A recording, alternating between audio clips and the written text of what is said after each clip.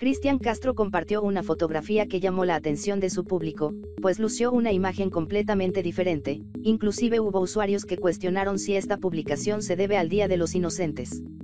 La tarde de este 28 de diciembre, el hijo de Verónica Castro posteó en su cuenta de Instagram una selfie, como las que usualmente comparte en sus redes sociales, con una pose usual, no obstante, lo que causó controversia es que su cara es otra. Además de lucir una piel con pocas arrugas, se retrató con una nariz más delgada y definida, un mentón más pronunciado y con el hoyuelo marcado. Sus labios también tuvieron un cambio, pues ahora se ven más voluptuosos. En la descripción de su foto Christian escribió un corto mensaje que no está relacionado con la imagen.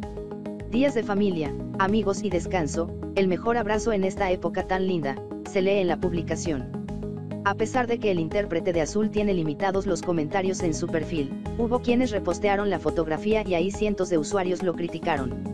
Un filtro más y purifica el agua, la foto es broma verdad, ojalá y sea solo un filtro, irreconocible, cómo se maltratan ellos mismos, se quiere parecer a Walter Mercado, fueron algunas de las reacciones de los internautas.